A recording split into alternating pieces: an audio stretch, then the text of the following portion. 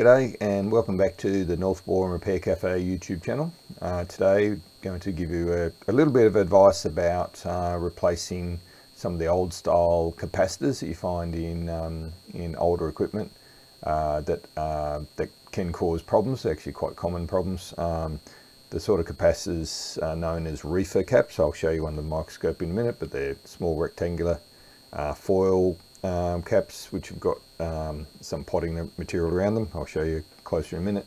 Uh, but they're, um, my advice, I guess, in summary is to, if you see them in any of the equipment that you're repairing, uh, take them out and replace them. Um, they, if they haven't already failed, they will soon. And when they go, there'll be a lot of smoke, um, maybe a short circuit um, in your device as well. So uh, anyway, I'll, we'll have a look under the microscope. You can uh, see the sort of uh, device I'm talking about.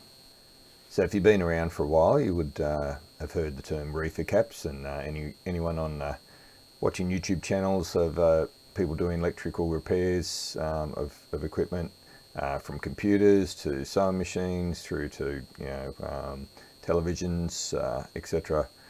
these are often used, um, usually in the power supply that um, comes off the mains, part of the filtering circuit. Um, this particular one came out of, or this one and another one I'll show you in a minute, came out of a, an old television from 1979 um, that, uh, that had started to fail. Um, and you can see the sort of failures you get um, on this one. It's just starting to crack in the potting material. You can see some cracks on this side. Um, on the other side there, some, some uh, further cracking there. Um, uh, right along the, the, the, middle there and then down the side. They sort of, they bulge out and uh, I'll show you the another one here that um, has gone even further. This one had, had failed completely.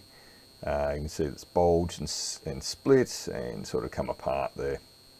All right, so often you'll see them with just the cracks I showed you before. Um, this is one that um, I actually saw fail. Uh, a lot of smoke came up um, it was a, an old television that I, I, um, I, I, foolishly I, um, I turned on before I'd actually opened it up and had a look inside.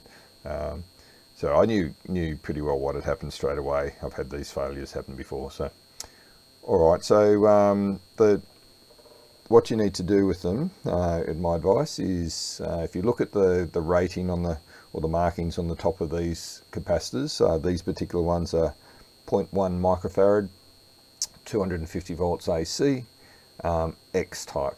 You can see the X there.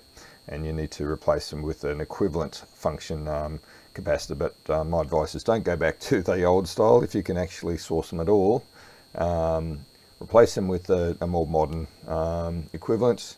Uh, and you can see the, the, um, the markings on here, 0.1 microfarad, 275 volts AC, so it's higher than the other one, um, which is fine. And then these are X2, which is the, the, the modern standard equivalent of the X. Um, so make sure you get one that's uh, uh, intended for the same function. The X um, markings on those capacitors uh, are, are, the function and make sure the right voltage and uh, capacitance is there. And then you should be able to replace them one for one.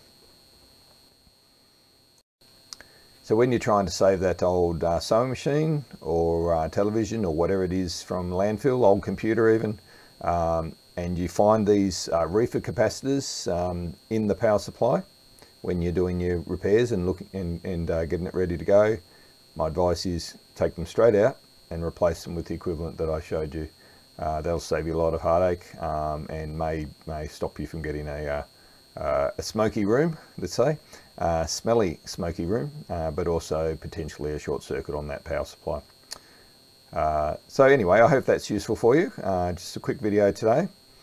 Uh, and it's been a while since we've had a video up. I apologise for that, but it's been a busy time in our lives. Um, and we're just starting to get back on top of things. So hopefully we'll get a few more videos going in, next, in the next not too distant future. I won't promise anything, but um, hopefully not too long.